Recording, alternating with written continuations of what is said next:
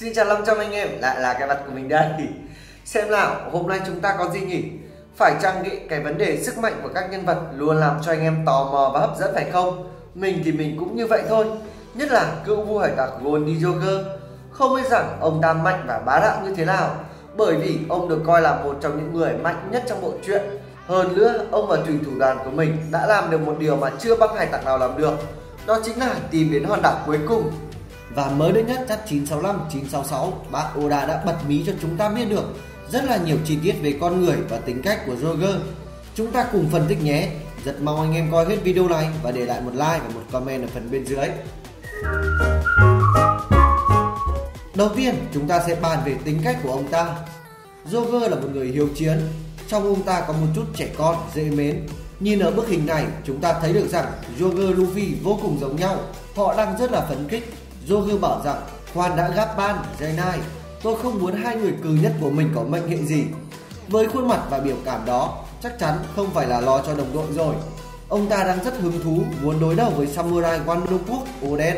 Tiếp tới là chap 965, Joker còn nói với đám hải quân vừa bị đánh bại. Lần tới cử kẻ nào tầm cỡ như là Gap hay Sengoku tới, đám bay chẳng khiến ta phải phí thời gian. Và trong bức hình này chúng ta thấy được thanh kiếm của ông ta vẫn nguyên trong bao Điên thật, đây đúng là kiểu đánh tay không luôn.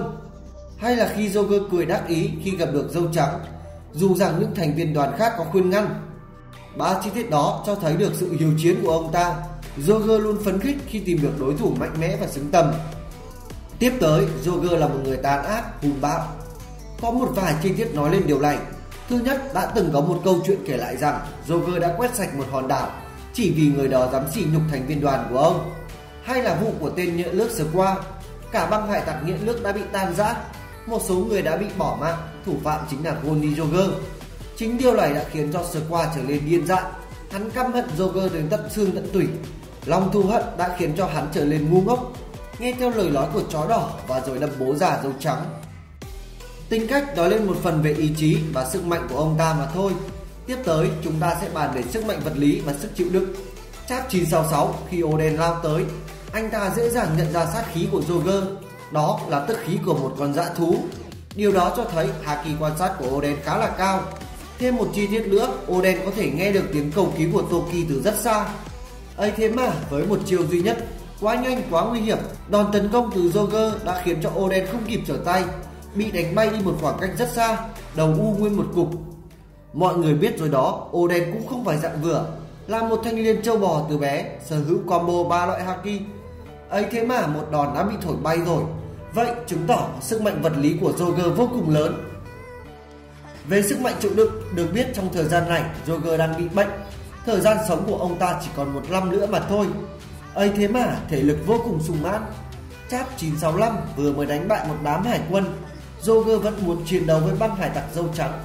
Thời gian thì kéo dài tận 3 ngày 3 đêm không ngừng nghỉ kết quả là cả hai chỉ bị thương nhẹ mà thôi dán vài miếng băng gạt trên đầu Trận chiến giữa hai người đàn ông mạnh mẽ nhất thế giới này đương nhiên là phải hết sức hấp dẫn rồi.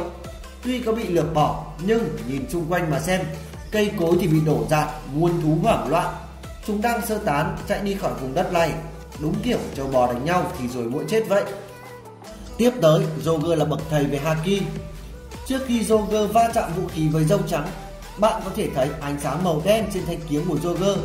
Sau đó, vũ khí của dâu trắng và Joker va chạm với nhau cả hòn đảo bị rung chuyển. Mặc dù thanh kiếm của Joker vẫn chưa chạm vào thanh bảo đao của dâu trắng và thứ sức mạnh hai người đang sử dụng chắc chắn là Haki vũ trang cấp cao. Nó là một lớp bao phủ bên ngoài vô hình xung quanh, có thể phá vỡ mọi thứ từ bên trong. Và kèm theo đó chắc chắn là Haki bá vương cực gắt. Có những tia nhỏ xung quanh vũ khí màu đen như là tia sét vậy. Nó tượng trưng cho sức mạnh, sát khí. Phải nói là trình độ thượng thừa mới có thể làm được điều này bởi vì trước đó chúng ta thấy được cuộc đụng độ giữa hai tứ hoàng Big Mom và Kaido. Uy lực cũng khủng khiếp, trẻ toạc bầu trời ra làm hai. Nhưng về mặt hiệu ứng kèm theo thì không được như hai vị tiền bối trên. Điều này đã khiến cho Oden choáng ngợp. Lần đầu tiên trong đời ông ta thấy được một trận chiến thư hùng như vậy. Có lẽ Oden đã cảm thấy may mắn vì lần đầu tiên đụng độ trắng tràn đã lương tay với mình. Tiếp tới, ông ta không dùng đến trái cây ác quỷ. Trong suốt cuộc chiến giữa Joker và Dâu Trắng, Joker cũng không thể thể hiện sức mạnh của trái cây ác quỷ. Ông đấu hoàn toàn dựa vào thể chất và haki của mình. bởi vì ông và các thành viên đoàn có một tư tưởng là hải tặc là phải biết bơi, mất đi khả năng đó chỉ là một con vịt cạn mà thôi. Điều này cho thấy Joker và thủy thủ đoàn của mình đã nỗ lực rất là nhiều để rèn luyện haki và thể lực. Xanh thì cũng đã thừa hưởng rất là nhiều từ Joker, từ quan niệm không ăn trái cây ác quỷ, một băng hải tặc mạnh mẽ, tất cả thành viên đoàn coi nhau như bạn bè. Một chiếc mũ rơm và một thanh kiếm đang cầm, Xanh cũng được thừa hưởng từ Joker. Chốt vấn đề lại, sức mạnh của Joker quả thật vô cùng bá đạo phải không? Huyền thoại thời trước mà, hiện nay chưa một ai đạt được cảnh giới đó.